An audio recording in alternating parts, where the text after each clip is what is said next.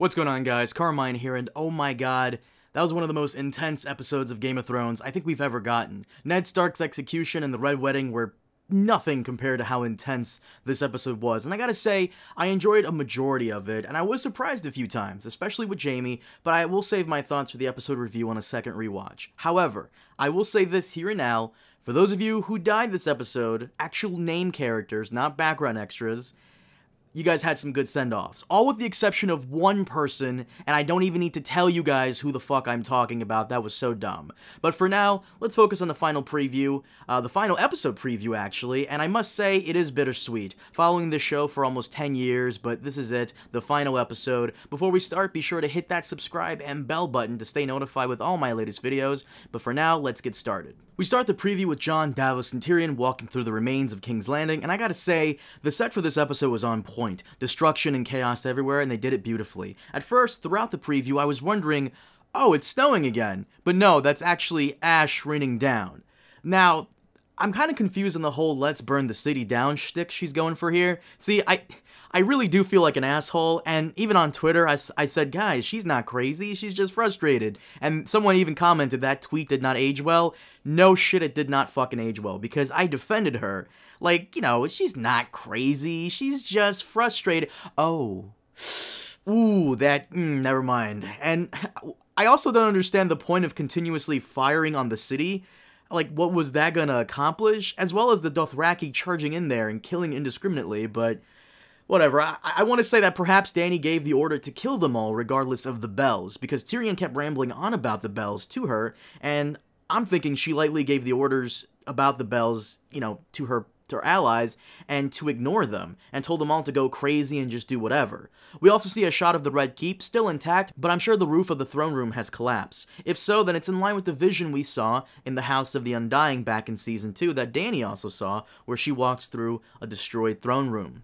We then cut to Arya watching what appears to be a victory celebration and likely a speech from Dany as the Dothraki and the Unsullied gather around. You can easily tell who the worst person and bad guy in the series is when Arya looks at them that way. Her Q rating for the show and a shout out from Drake means that she's top tier character status now for the series. If Arya looks at a puppy like that, you can bet that they wrote that puppy responsible for both the Holocaust and 9-11. And by the way, I'm just gonna say this now, the fact that Arya has incredible plot armor annoys annoys me so, so damn much. At least with Jon Snow, swords and arrows don't harm him, but Arya, uh, debris, fire, hordes of people stomping on her spine don't even stop her. I wouldn't be surprised if the last scene of this entire series is Arya getting a raven from Nick Fury about the Avengers Initiative. And next we have Tyrion who follows in, cautious and pissed off as the Dothraki all raise their weapons in a cheer, while Dany walks in flanked by Unsullied. So the Im imagery here is clear. She burned them all, just like her father, the Mad King, wanted. I also need to call back to something Varys told Olenna and about Littlefinger back in Season 3, about how Littlefinger would see the country burn if he could be King of the Ashes. Well, it turns out that includes Daenerys as well, I guess. And once again, I, I'm, I'm also getting ahead of myself, but her snapping like that came out of nowhere. I, I, the one thing I'm curious about for the for the next episode is how she justifies killing innocent people, how she just how she justifies destroying a city that her ancestors built, and how she justifies killing enemy soldiers for what their queen did. It's going to be an interesting next episode, and I gotta say, I didn't expect Daenerys to be our final endgame boss, our hidden boss, if you will. I was completely okay with a crazy pregnant woman and her pirate boyfriend being like the main villains, but I guess, you know, I don't know what to make of this. If it's irony, cliche, or bad writing that Daenerys turns out to be our final endgame villain, if you will. Especially with the way Arya looked at her. Did you know she's up for the Avengers Initiative? I don't know if you guys knew that. And before we wrap this up, I want to give a big thank you to today's sponsor, Throne Kingdom at War. If you're a fan of Game of Thrones, then you'll love this free-to-play strategy game that challenges you to rise up, call your banners, and take control of the ultimate seat of power. Whether it's customizing your hero to lead the charge,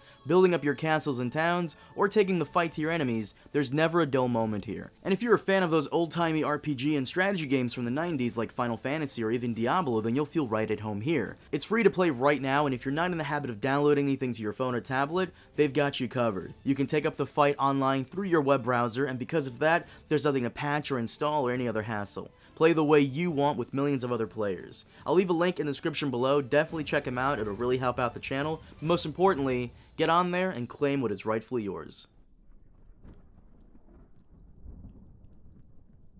Well guys, that is it for today. I might do a first impressions video, I'm leaning towards it, so if I do upload one, then definitely be sure to check that out. Also, please do let me know what you thought of the episode. Did you like it? Did you not? Leave your thoughts down below. Be sure to follow me on Twitter so you can join me for a live discussion on all things Game of Thrones. Follow me on Instagram so we can share some great memes together, and be sure to subscribe and hit that bell button to stay notified of all future videos. But once again guys, thank you so much for watching, and I'll see you all next time.